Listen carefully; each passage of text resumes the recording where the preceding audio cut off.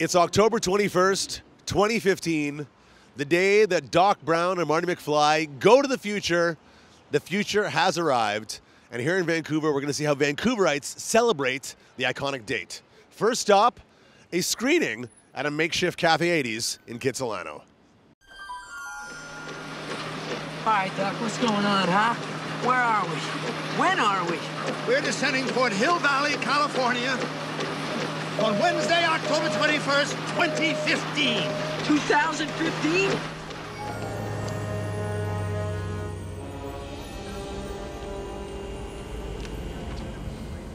it's super cool that when when art and life come together like that, and I think uh, if anybody that's a fan of the trilogy, on some level, you've kind of been wondering about October 21st, 2015, and here it is, so we can sort of compare the vision of 1980s future to the reality of 2015. The thing that's so funny about Back to the Future, looking looking back on the whole trilogy, is when you think about 1985 and then they go back to 1955, it feels like they're going to 10 decades ago. It feels like a whole other world. The difference between 55 and 85 seems much greater to me than 85 and 2015. Storyline of uh, Goldie for mayor, and he's like, Mom, I'll be mayor. And then here you are, you think in 2015, America's just we have a there's a black president. I mean, it, like those kinds of things I think are part of the reason why people cling to Back to the Future is because it got so many little things right, and it was able to comment um, in 1985 on so many of the changes that had happened in a in a funny, reverential way. So we are screening um, Back in Time, which uh, is a documentary about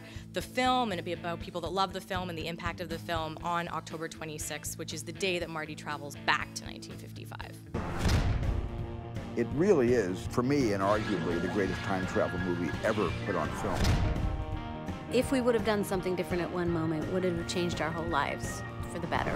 I think it's the best thing that I've ever written. I mean, along with Bob, of course. Zemeckis and Gale really found lightning in a bottle. You probably have one of those in you in a lifetime. Lightning in a bottle tends to stick around for a long time.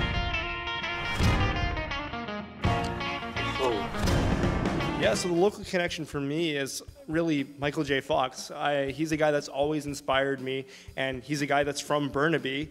And so, you know, for myself, when I got the idea of approaching the director when I first saw the Kickstarter come out for Back in Time, um, I really just wanted to say thank you so much for making a film that's talking about the 30 years later of the impact that it's having on not just people like myself, but everyone else in the world. I actually kind of connected a little bit with George McFly. He's a guy that was an outcast. He had big dreams, he had big goals of being this person that no one else thought that he could be. People were inspired by the message, the message of you're in control of of your own destiny. And you know, once you hear that as a young kid, even as an uh, adult, you, you really think to yourself, wow, this is something that I could do myself. And that's actually what got me inspired about quantum physics, science, all these things. Something that seems so trivial to other people uh, made a huge impact on my life, and it continues to make impacts on people's lives uh, everywhere.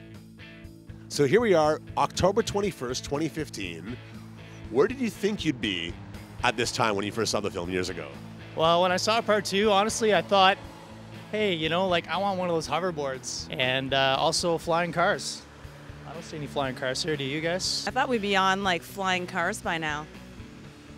No, not really. No. It's you know what? It seemed possible. It seemed possible when you were watching the movie. A bit disappointed, honestly. Really? Yeah. Do tell. I expected a lot of more uh, futuristic stuff. Yeah.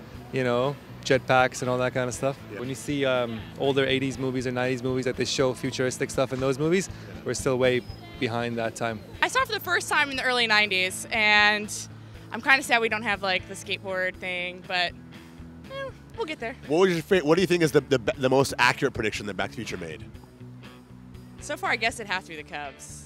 I mean, the style, I'm really glad that it's not there. So there you have it.